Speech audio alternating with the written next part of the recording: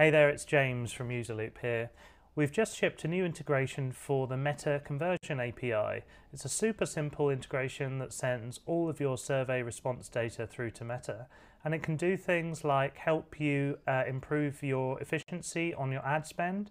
So it gives the Meta uh, algorithm more data about customers to uh, optimize your ads. So every survey uh, question that they answer to will be sent to uh, Meta and it can help improve your ad spend.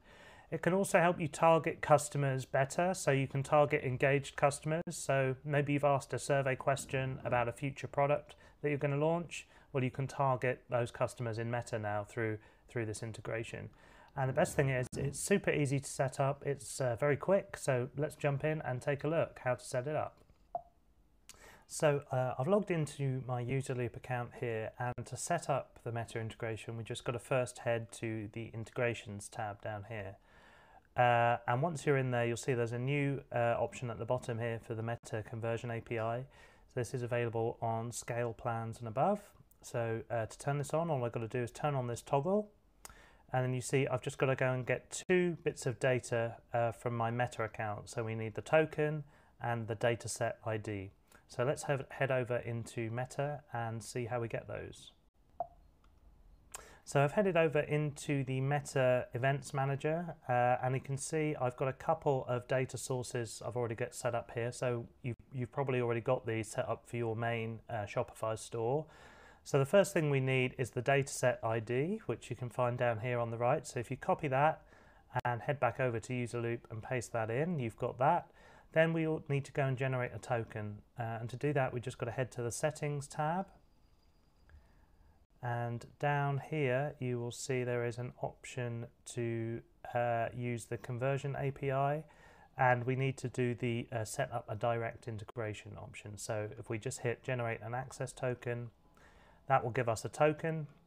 And we can then copy that and head back over into UserLoop and paste those in. So let's head back over and get those all set up so I've pasted in my meta token and I've also pasted in the meta dataset ID that I want. So now anytime that a customer responds to my survey, that data is going to get sent through into meta.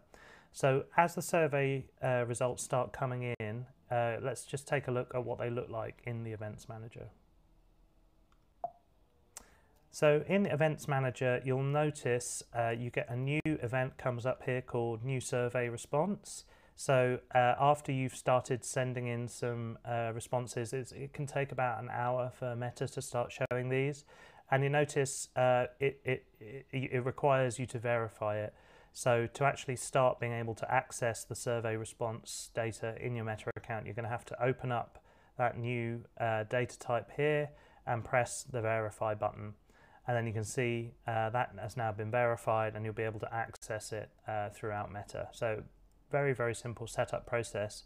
All you've got to do is copy your token, uh, the dataset ID, and then after you've sent through a few survey responses, come back into the Meta uh, Event Manager and just uh, verify that new event for new survey response. And then you'll have access to it throughout Meta for doing targeting, and it will also give the Meta API more information to help uh, improve your ad spend efficiency.